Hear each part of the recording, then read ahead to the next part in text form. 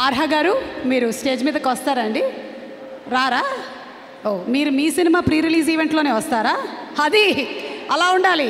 Minimum అలా ఉంటుంది మాతో ఓకే అండ్ ఇప్పుడు Aravind garu to please speak a few words Aravind garu. వెళ్తాను.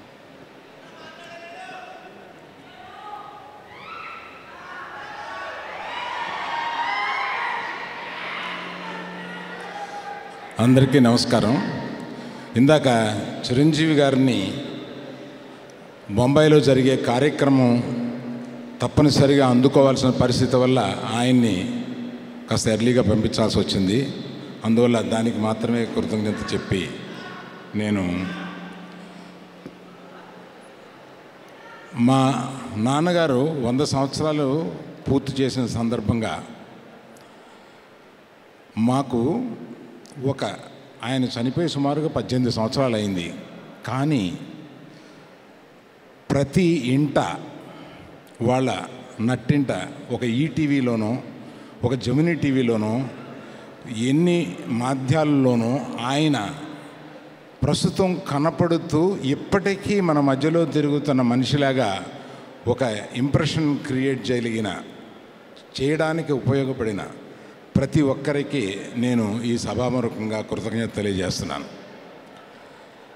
తర్వాత స్టూడియో.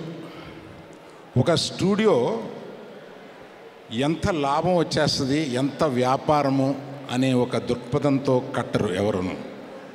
స్టూడియో అనేది ఒక సొంత ఫెసిలిటీ. స్టూడియో అనేది ఒక తరాలుగా ఉండిపోయే ఒక జ్ఞాపిక లాంటిది.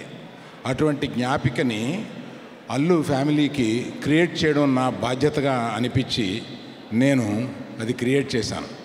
ఇందు మూలంగా నేను ఇవాళ ప్రత్యేకంగా చెప్పాల్సింది ఏంటంటే ఇక్కడి నుంచి ఈ స్టూడియోలు కానీ గీతార్ట్స్ కానీ వీటిలన్నింటినీ పైనుంచి చూస్తాను తప్ప దాన్ని నడిపే బాధ్యత మా తరువాత సంతానానికి నేను ఇందు మూలంగా మీకు డిక్లేర్ చేస్తుంది ఏంటంటే వారికి అప్పచెప్తున్నాను. ఇక నుంచి వారందరూ నడపగలరు.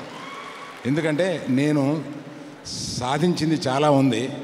ఇంకా ఏదో సాధించాలనే ఒక కోరిక పెద్దగా ఏమీ లేదు.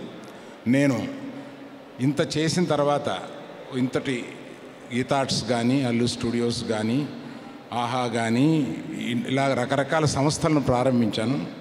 అవి ముందుకి దిగ్విజయంగా తీసుకెళ్ళడానికి మా సంతానం ఉన్నారు కాబట్టి వారు తీసుకెళ్తారని కోరుతున్నాను. Thank you very much. Thank you.